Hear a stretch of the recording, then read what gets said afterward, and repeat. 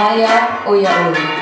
Another imitation of the Sampaya that is danced by the chieftain of the village to emphasize his rank and status. Movements like a bird's flight and scratching of the ground connotes the oneness of the tribe to the earth.